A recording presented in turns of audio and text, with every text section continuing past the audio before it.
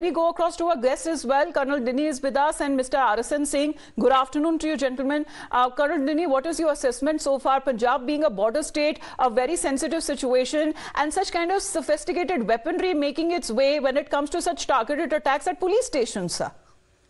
See, first of all, uh, you know, as we all know that uh, Pakistan ISI is systematically targeting Uh, many states and uh, Punjab being one of the high, uh, you know, high priority states because of its past uh, uh, issues with the Khalistani movement and also because of the, you know, close proximity towards with Pakistan.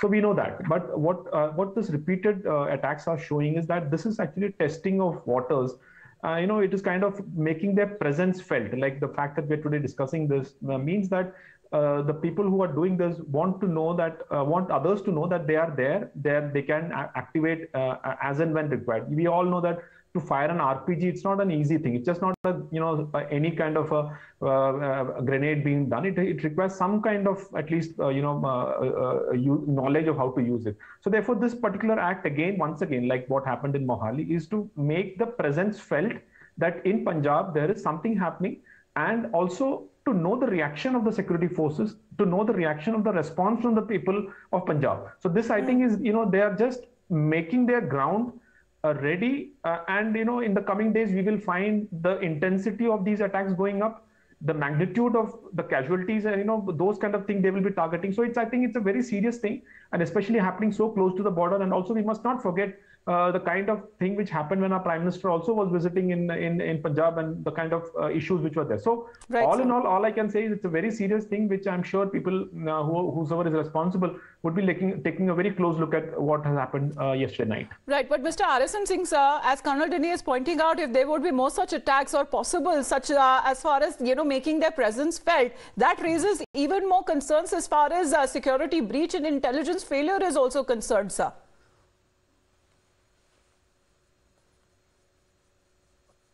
No, the Kashmir arc uh, has been widening since very, very long time.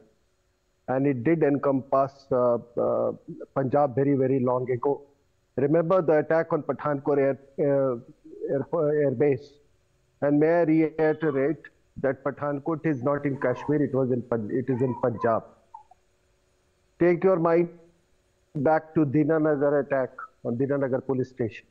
So the arc has been widening, and not only that, how have we all missed out that Kashmiris as well as you know Kashmiri jihadis as well as Khalistanis were both. I mean, they are they, they are in some of the private you know colleges and universities of Punjab, you know, together to the extent that some Kashmiri terrorists have been uh, going off and on, leaving the campus, carrying out terrorist attacks, and falling back into uh, into the ca uh, campus. Hmm.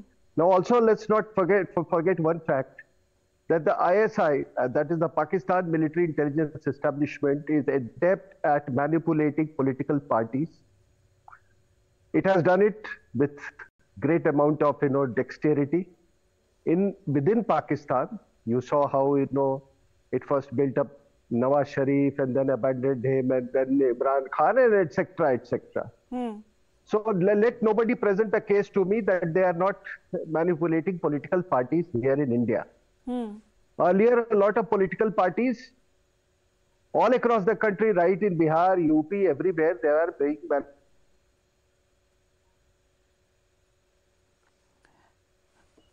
Sir, we've just lost your connection, Mr. Arasan Singh, sir. But Colonel Dinny, if you want to complete that point with what uh, Mr. Arasan Singh seems to be saying right now, because uh, such availability of sophisticated weaponry, sir, and the access there, because the border areas are notorious just not for human infiltration or terror infiltration, sir, but when it comes to heightened drone activity, as well that is being reported. Uh, smuggling, even when it comes to narcotics and drug terror is also something that has been pointed out right here, sir.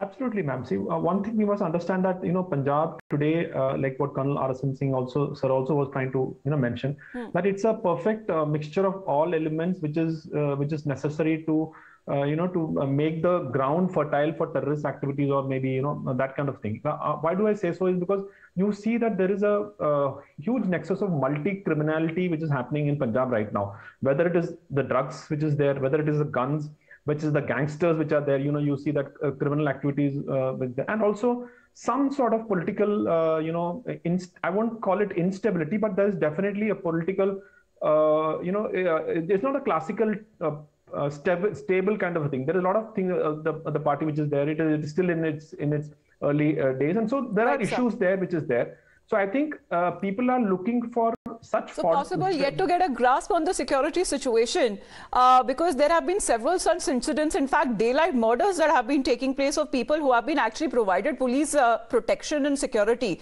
we also have a live report uh, ravinder aap meri awaaz sun pa rahe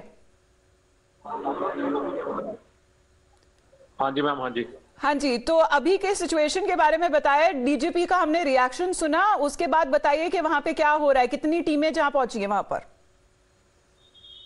D G P Gaurav جادو گھٹنا ستان پر پہنچے تھے اور انہوں نے بولا ہے کہ جو محالی اٹیک ہوا تھا نا، آر پی جی کا اٹیک جو محالی ہوا تھا، اس کے وہ وہی سملرٹی یہی ہے، جہاں پر دکھ رہی ہے کہ وہی سملرٹی وہی ویسا ہی اٹیک جو جہاں پر ترنتار میں ہوا ہے۔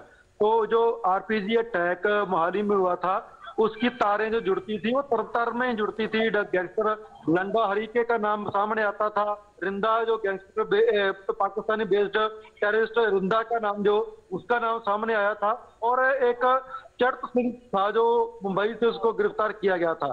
تو اسی کی تارے، جو جیسی تارے وہاں پہ گرتی تھی، وہ حالی کی تارے ترنتان سے جڑتی تھی، ویسا ایک اب ترنتان میں ہوا ہے اور ڈی جی پی نے بتایا ہے کہ کچھ جانچ انہوں نے کی ہے، وہ ڈسکلوز نہیں کر سکتے due to some security reason وہ ڈسکلوز نہیں کر سکتے، پر انہوں نے کلیو کٹھے کیے ہیں، ثبوت جٹا لیے ہیں اور جلد ہی وہ جو ایک پریس کانفرنس کر کے جاری کریں گے کہ جے کس نے اٹیک کیا کیسے اٹیک ہوا کون تھے وہ لوگ؟ اور جے جے آر پی جی ہے جو پنجاب میں پہنچے کیسے؟ سب سے بڑی بات یہی ہے کہ جے آر پی جی جو ہے جے پنجاب میں آ کہاں سے رہے ہیں؟ ڈرون کے ذریعے بارڈر ایریا ہے ترنتارن اور ساتھ ہی میں تھوڑی دور کے بارڈر پڑتا ہے پاکستان کا بارڈر پڑتا تو وہاں سے عام ہی ہو گیا اب عام ہو گیا کہ جو ہتھیار ہے ڈرون کے ذریعے پنجاب بھیجے جا رہے ہیں اور پنجاب سے وہاں وقت وقت رجوں میں بھی جو ہے یہ ہتھیار اور یہ ہیروئن جہاں پہنچ رہی ہے تو اس لیے ابھی پنجاب سے کچھ اس پر کچھ تو سختی دکھا رہی ہے۔ پر یہ عام ہی ہو گیا ہے، کہیں گولیاں مار دی گینگسٹروں نے کسی کے۔ اور اس سے پہلے ہی ترمتار میں پہلے بھی ایک کپڑا ویپاری اس کی گولیاں مار کر ہتیا کر دی کی تھی۔ ایکسٹورشن کی مانگ کی تھی۔ اس سے پہلے بیتے دو تین دن کی بات کریں تو ایک پولیس ملازم ہے، اس کی بھی گولیاں مار کر ہتیا کر دی کی تھی۔ کیونکہ جس ویپاری سے ایکسٹورشن مانگی گئی تھی، اس کی سرکشا کرمی تھا وہ پولیس ملازم، اس کو بھی مار دیا گیا تھا۔ تو ابھی گورو جاج کہہ رہے ہیں کہ وہ جانچ کر رہے ہیں جانچ کے بعد کافی کچھ جو سامنے آ رہا ہے۔ تو سب سے بڑی بات یہی ہے کہ سملیرٹی جو آر پی بی اٹیک ہوا تھا محالی میں ویسی ویسا ہی اٹیک جو ابھی ترن تر میں ہوا ہے۔ جی تو انویسٹیگیشن ابھی شروع ہو چکی ہے اور دھیرے دھیرے کر کے مور انفرمیشن جو سامنے آ رہی ہے وہ سیدھے طور پر ٹیرر اٹیک کی طرف سیدھے طور پر اشارہ کر رہی ہے یہاں پر۔ روندر آپ بنے رہی ہے